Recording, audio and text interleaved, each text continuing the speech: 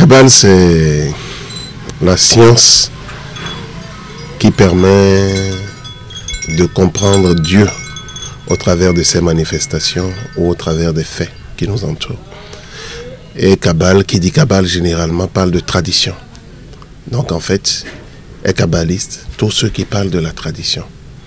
Ici, c'est vrai, nous parlons de la Kabbale judéo-chrétienne qui en fait est l'essence ou la mère de toutes les traditions.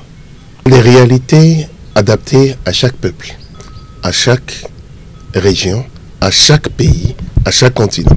Vous voyez quand vous prenez par exemple notre pays, il y a les réalités du sud du Bénin, du centre, du, du nord, qui divergent un peu, mais qui véritablement font toujours... En fait, c'est toujours la même chose que dont on parle, c'est toujours les mêmes réalités dont on parle. Comme on le dira, une entité qu'on appelle, peut-être ici, vous permettez, hein, au goût, va s'appeler ailleurs autrement. Mais c'est la même entité, c'est les mêmes rites, c'est les mêmes approches. Bref, c'est la même chose que l'on retrouve au niveau de la Kabbale. Et donc, la même tradition, en fait, se répercute dans toutes les traditions. Il suffit seulement, comme j'aime bien le dire, d'avoir les yeux pour voir et les oreilles pour entendre. J'ai dit. Un ange, c'est... Bon, déjà, il faut comprendre que... Pour comprendre, les, les anges sont des serviteurs de Dieu. Sont des serviteurs de Dieu. Et on a compris que dans l'organisation, à un moment donné, L'homme s'est perdu une fois, Dieu a détruit le monde. L'homme s'est perdu deux fois, Dieu a détruit le monde.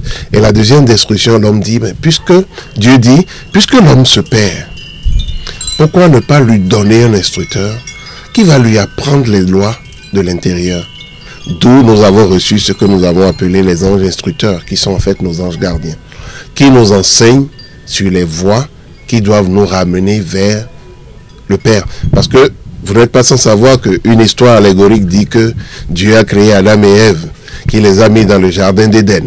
Ils ont mangé le fruit défendu et ils ont été chassés du jardin.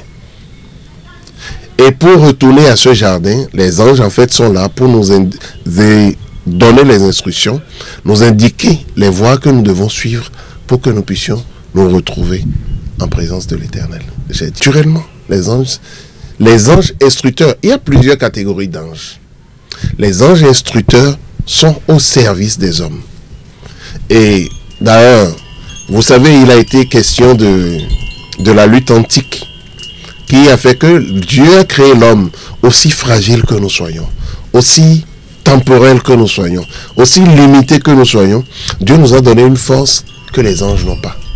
Dieu a donné à l'homme le pouvoir de faire un choix d'avoir, c'est-à-dire d'user de sa libre volonté, de, sa, de son libre habit, de sa volonté. Ce que les anges ne peuvent pas faire. Un ange de lumière ne peut servir que la lumière. Un ange de l'ombre, c'est-à-dire un démon, ne peut servir que l'ombre. Et c'est ça. Alors que l'homme, il peut être bon tout à l'heure, être mauvais dans l'heure qui suit et redevenir bon, faire à loisir. De toute façon, comme j'aime bien le dire, à l'école de Dieu, on apprend à faire des erreurs et on apprend à bien faire aussi, je dis.